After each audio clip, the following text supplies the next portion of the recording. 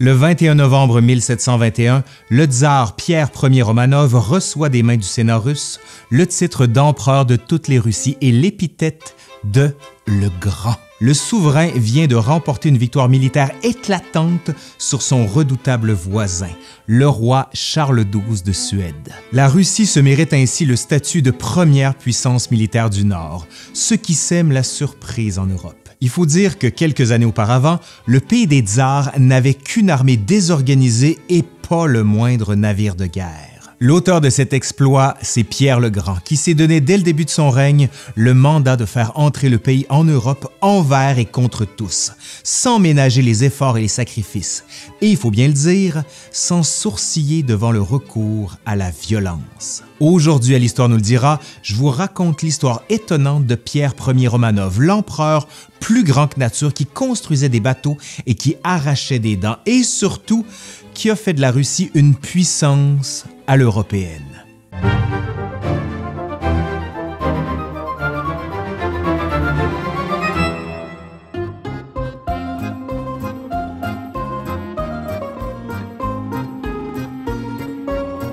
Pour comprendre l'ampleur des changements opérés sous l'impulsion de celui qui passait l'histoire sous le nom de Pierre le Grand, il faut d'abord se rappeler ce qu'était la Russie à l'époque des tsars à sa naissance en 1672. C'était un univers totalement différent de l'Europe à la même époque. Ce qu'on appelait alors la Moscovie occupait déjà un immense territoire allant de Kiev, son berceau historique, jusqu'à l'extrémité est de la Sibérie.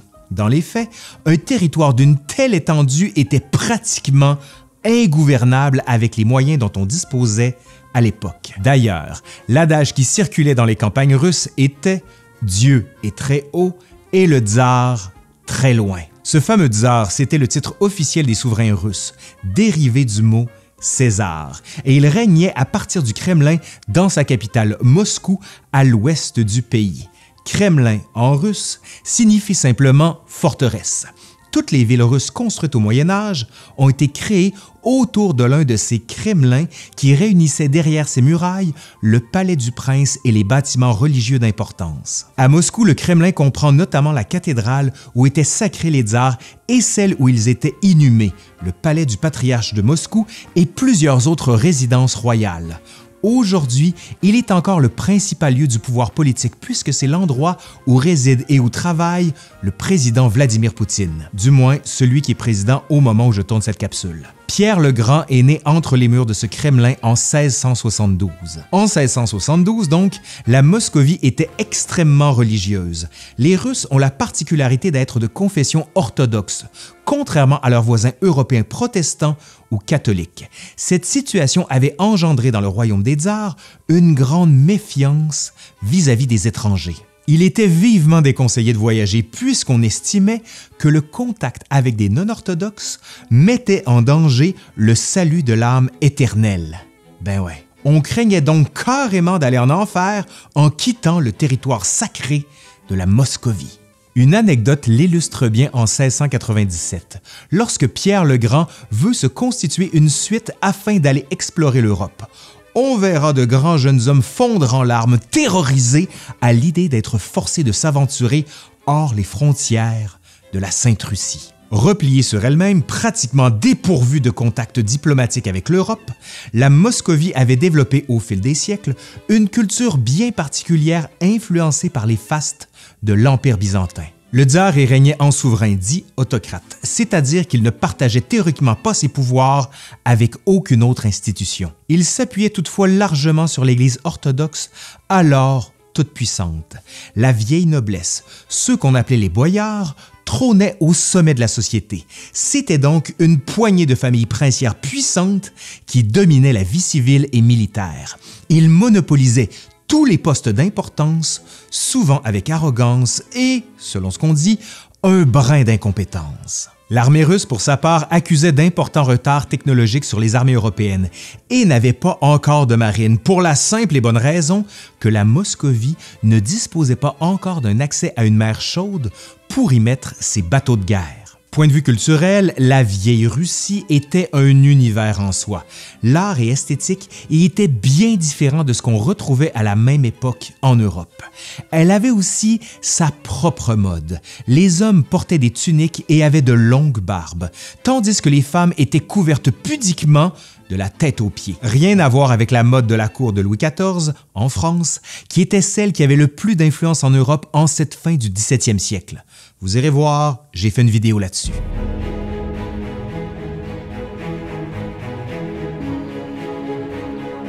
Pierre devint tsar en 1682 sous le nom de Pierre Ier. Il a à peine 10 ans. La régence du royaume est confiée à sa mère, Natalia. Cette décision indigne la demi-sœur de Pierre, Sophia, une jeune femme que l'on dit intelligente, volontaire et très laide. C'est ce qu'on dit là. Sophia convoite la régence pour elle-même. Elle va provoquer une révolte chez les Streltsy, qui était un corps militaire qu'on pourrait comparer aux mousquetaires français. Cette révolte sera très sanglante. Imaginez, à l'âge de 10 ans à peine, Pierre assiste impuissant au massacre de plusieurs de ses proches dans sa propre chambre. L'événement qui va porter Sophia à la régence va profondément traumatiser le garçon on peut le comprendre. Toute sa vie, il va être sujet à des crises nerveuses, des espèces de convulsions terrifiantes que plusieurs ont considérées être imputables à la révolte de 1682. Mais surtout, la rébellion va être à l'origine de la vision politique du futur empereur. Pierre va en concevoir une haine profonde du Kremlin, de Moscou et de la vieille noblesse russe qui a osé menacer son pouvoir. Il va imputer à la culture de ce qu'il appelle avec mépris la vieille Russie la responsabilité de cette barbarie. La mission de toute sa vie sera de réformer son pays et de faire disparaître toute trace des vieilles coutumes. Pendant l'interlude où Sophia assure la régence du royaume, Pierre et sa mère sont envoyés dans un demi-exil dans un village en périphérie de Moscou. Deux événements majeurs se produisent durant cette période. D'abord, Pierre entre en contact pour la première fois avec des étrangers, pour la plupart des Allemands qui vivaient non loin de là, dans une espèce de ghetto qui leur était réservé. Il y avait très peu d'étrangers qui vivaient en Russie à cette époque, et ceux qu'on autorisait sur le territoire étaient confinés dans un faubourg à l'extérieur de la capitale, parce qu'on craignait qu'ils ne soient une mauvaise influence pour les moscovites. C'est dans ce faubourg que Pierre fait la rencontre de la culture européenne pour laquelle il a un coup de foudre immédiat. Il va développer une passion sans limite pour les technologies venues d'Europe et surtout, il va acquérir la conviction que c'est grâce à ces technologies que la Russie peut devenir une grande puissance. C'est également dans le faubourg des étrangers que Pierre s'entoure d'amis allemands et suisses qui constitueront désormais son entourage le plus proche et qui le soutiendront dans ses réformes futures. Deuxième élément digne de mention, c'est pendant cette période d'exil que le jeune Pierre forme un régiment d'armée pour jouer à la guerre avec les garçons du voisinage. C'est avec ce régiment jouet appelé Preobrazhensky qu'il va apprendre le fonctionnement d'une armée et comment être un meneur d'hommes. Les soldats de Pierre vont grandir avec lui et éventuellement l'aider à reconquérir le pouvoir quand il aura ses 17 ans. D'ailleurs, il est intéressant de mentionner que lorsque le souverain va réformer l'armée russe, bien des années plus tard, il prendra soin de nommer son régiment le plus prestigieux Preobrazhensky, en hommage à ses premières troupes.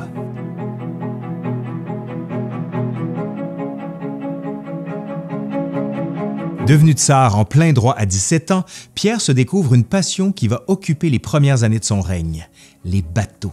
Selon l'histoire qu'il a lui-même publicisée, Pierre aurait découvert par hasard dans un hangar un vieux bateau anglais qu'il aurait ensuite passé de longues heures à restaurer et à apprendre à manœuvrer. Plus tard, ce bateau sera offert par le tsar à un musée à titre de grand-père de la marine russe. Pierre s'est en effet mis en tête de constituer une marine militaire à son pays, un projet qui se bute à deux obstacles.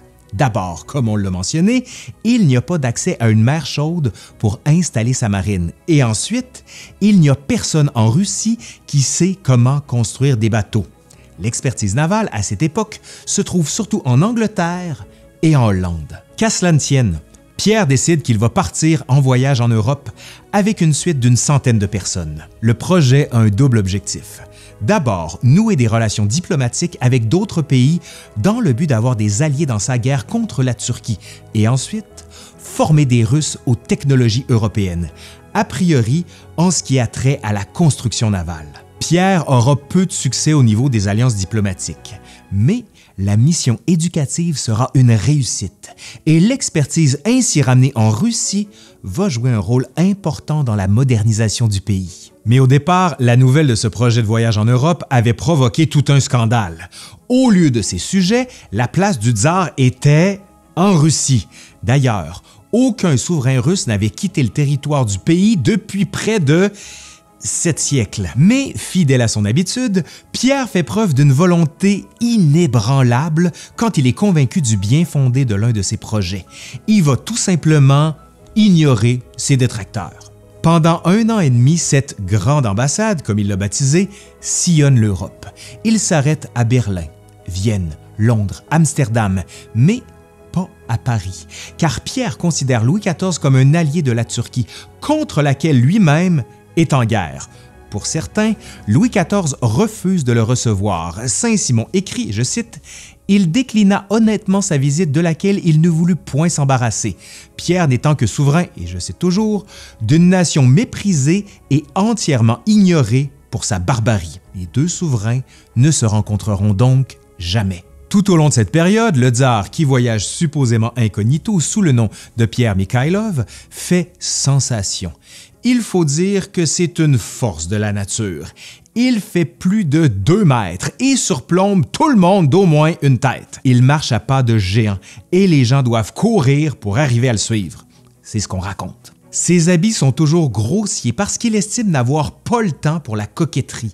Il ne porte pas de perruque comme c'est la mode masculine de l'époque. Mais quand il fait froid, il lui arrive de voler celle d'un des hommes de sa suite pour se couvrir la tête. Il a vraiment un tempérament imprévisible et des manières étranges. Par exemple, il refuse de dormir dans les chambres somptueuses qu'on lui prépare pour lui. Il préfère plutôt s'installer dans des garde-robes étroits où il se sent plus confortable. Aussi, il ne dort jamais seul parce qu'il craint d'être pris d'une crise nerveuse pendant la nuit. S'il n'y a pas de femme pour lui tenir compagnie, il va sommer l'un de ses soldats de dormir dans son lit. Ça fait jaser, évidemment. Mais Pierre se soucie très peu des réactions qu'il suscite. Il va donc aller de ville en ville pour inspecter les installations militaires, rencontrer des scientifiques et visiter les cabinets de curiosité.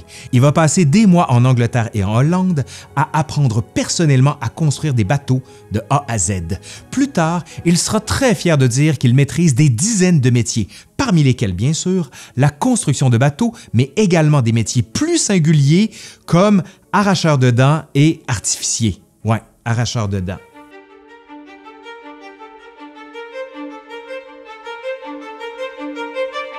Rentré en Russie, le jeune tsar lance simultanément plusieurs réformes à tous les niveaux. L'administration, l'armée, l'Église, tout y passe.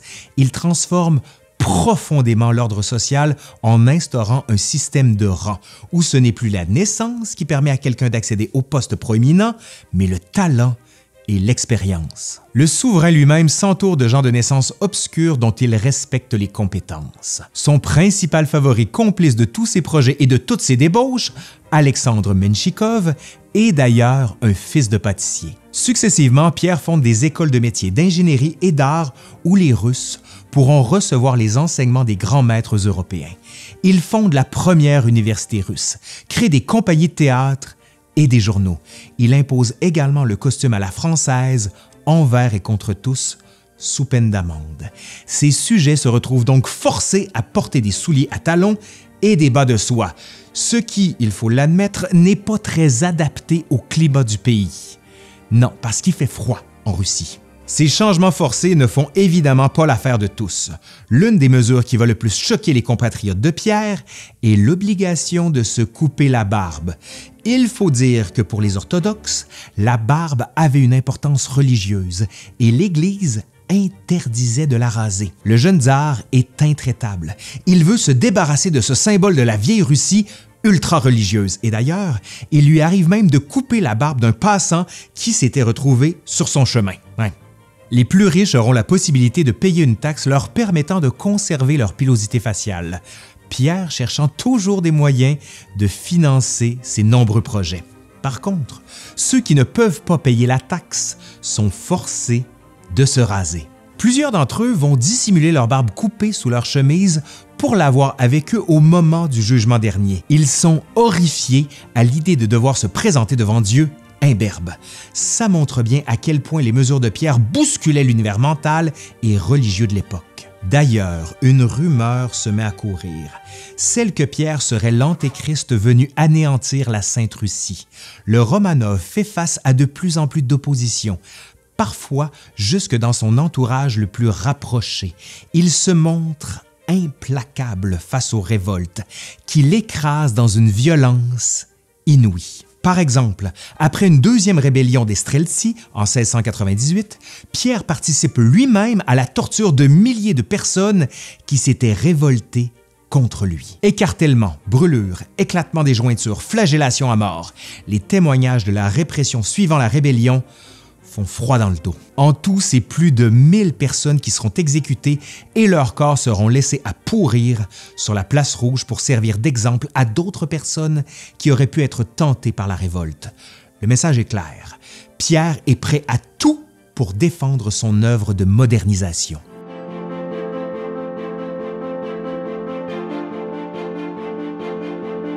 En 1703, le tsar fonde la ville de Saint-Pétersbourg sur un territoire qu'il vient de prendre aux Suédois, à l'embouchure du golfe de Finlande. C'est là que le souverain enthousiaste a décidé d'installer sa toute nouvelle marine et d'édifier une ville qui symbolisera la nouvelle Russie qu'il s'évertue à créer. Saint-Pétersbourg se veut une fenêtre sur l'Europe. C'est là même l'expression de Pierre encore utilisée aujourd'hui pour décrire la ville. Pendant deux décennies, le souverain n'hésite pas à monopoliser les ressources du pays entier afin de bâtir le plus rapidement possible sa nouvelle capitale. Des dizaines de milliers de serfs sont mobilisés de force pour travailler à l'édification de la ville et les constructions en pierre sont interdites pendant plusieurs années dans tout le pays afin que les matériaux nécessaires ne manquent pas sur le chantier de Saint-Pétersbourg. Pierre donne des consignes très strictes en ce qui a trait à l'architecture des nouveaux bâtiments qui seront construits. C'est dans le style italien et non russe que tout doit être édifié. Quand Saint-Pétersbourg devient officiellement la capitale de la Russie en 1712, Pierre va forcer la noblesse à quitter Moscou pour venir s'y installer. Ils doivent abandonner leur maison confortable dans l'ancienne capitale pour se construire à leurs frais des palais à l'européenne dans la nouvelle ville. Là encore, les gens ne sont pas contents. Peu de personnes partagent l'enthousiasme de Pierre pour ce qu'il appelle son petit paradis. D'abord, Saint-Pétersbourg leur paraît très éloigné. Elle est à plus de 700 km de Moscou. Le voyage est long et inconfortable. Ensuite, la ville est située sur un marécage et elle est inondée pratiquement tous les printemps, obligeant sa reconstruction perpétuelle. Ajoutons aussi que les hivers sont longs, sombres et humides à cette latitude. Mais encore une fois, Pierre n'en fait qu'à sa tête et impose sa volonté à ses sujets. Saint-Pétersbourg va éventuellement devenir l'étincelante capitale impériale qu'on connaît aujourd'hui, mais le prix aura été exorbitant on dit que 150 000 personnes auraient péri dans sa construction accélérée.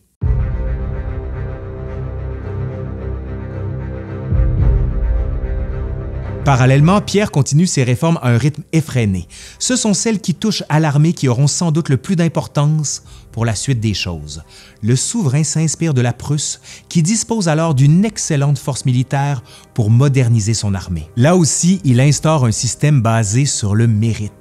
Les boyards sont délogés des postes de généraux qui seront désormais occupés par des militaires ayant gravi tous les échelons. Lui-même est fier de dire qu'il a amorcé sa carrière en bas de l'échelle en tant que tambour et qu'il est familier avec tous les métiers de l'armée. Rapidement, Pierre teste son armée toute neuve en attaquant la Turquie en 1696. Ce qu'il veut, c'est ce fameux accès à une mer chaude qui lui semble indispensable à la gloire de la Russie. Ce sera un échec retentissant. Pierre change alors de tactique et se retourne vers la mer Baltique, qu'il a découvert avec éblouissement durant son grand voyage en Europe. Il s'attaque donc à son voisin suédois. Ce sera un autre échec. Charles XII de Suède, qui est un des plus grands chefs militaires de son siècle, écrase l'armée russe à la bataille de Narva en 1700. Pierre est très contrarié, mais ce n'est pas dans sa nature de se laisser abattre. Il s'emploie pendant les années suivantes à étudier les méthodes militaires des armées de Charles XII. C'est finalement neuf ans plus tard, en 1709, qu'il obtient sa revanche avec une victoire décisive à la bataille de Poltava.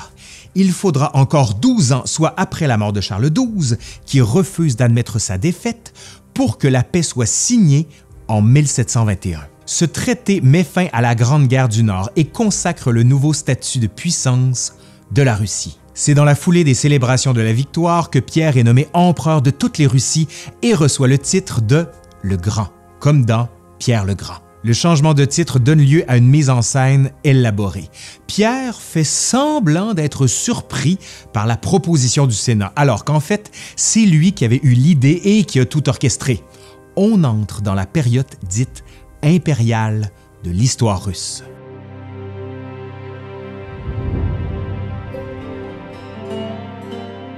Le règne de Pierre le Grand connaît aussi des parts d'ombre. Le plus grand scandale qui lui est attaché est le sort qu'il a réservé à son fils, le tsarevitch Alexis Petrovitch. Comme la plupart des souverains, Pierre était obsédé à l'idée d'avoir un héritier digne de lui. Il était très insatisfait de son fils unique Alexis, qu'il voyait comme un être faible, sans volonté et surtout trop proche des élites de la vieille Russie que lui-même essayait d'anéantir après avoir longuement tenté de le rescaper et de le remodeler à son image, Pierre va se résoudre à le déshériter parce qu'il craignait qu'Alexis ne détruise son œuvre après sa mort. En réaction à cette décision, Alexis fuit la Russie et demande refuge à son beau-frère, l'empereur d'Autriche, en prétextant que le tsar veut attenter à sa vie.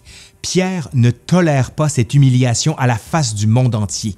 Il va obtenir par la ruse que son fils rentre en Russie, puis, il va le faire arrêter et condamner à mort pour trahison.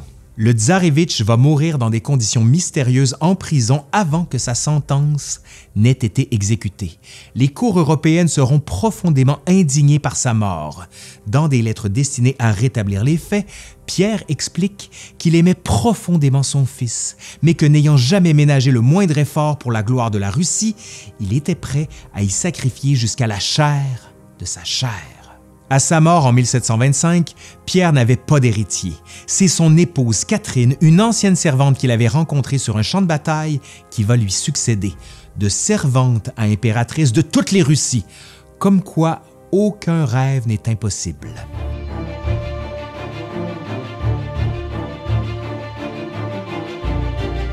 Pierre le Grand était un homme aux mille passions doué d'une énergie stupéfiante.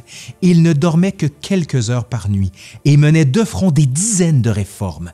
Les pièces d'archives écrites de sa main montrent un esprit hyperactif. Toutes sortes de notes et de projets sont griffonnés dans les marges de ses lettres parce qu'il ne voulait pas oublier les idées qui se bousculaient dans sa tête. C'était aussi un amateur de débauche extraordinaire et un grand buveur qui consommait de la vodka à partir du petit déjeuner. Il a été rapporté que Pierre forçait souvent ses invités à boire autant que lui. C'était une stratégie pour entendre ce que les gens pensaient réellement de ses politiques. Le problème, c'est que lui-même avait une tolérance à l'alcool nettement supérieure à la moyenne et que les gens devaient se rendre malades pour le suivre dans ses beuveries. Certaines personnes vont même tomber dans un coma éthylique et en mourir. Dans ces conditions, il n'est pas étonnant que le premier empereur de Russie soit mort à 52 ans seulement, usé par une vie d'abus, de travail acharné et de champ de bataille. Ironiquement, c'est une banale infection urinaire qui aura raison du colosse. L'héritage de Pierre le Grand, longtemps célébré de toutes parts, est maintenant considéré avec plus de nuances par les historiens et les historiennes russes. Si certains le félicitent d'avoir modernisé la Russie, D'autres le critiquent d'avoir fait table rase des traditions et des coutumes du pays pour imposer la culture européenne. L'héritage de ce souverain est tout de même considérable. On lui doit la magnifique ville de Saint-Pétersbourg, la puissante marine russe et des dizaines d'institutions qui existent encore de nos jours. Surtout, Pierre le Grand a remporté son pari. À sa mort, la Russie était devenue un joueur incontournable de la diplomatie européenne et une puissance de premier plan. Allez, c'est fini pour aujourd'hui. Merci à Joanie Degno qui a collaboré à cette vidéo. Si ça vous a plu, dites-le nous. Faites un pouce par en l'air, commentez, partagez, faites vivre la vidéo. Pardon, j'avais dit que je ne chanterai plus. Désolé. Allez, je suis Laurent Turcot de l'Histoire nous le dira et je vous dis à la prochaine. Bye.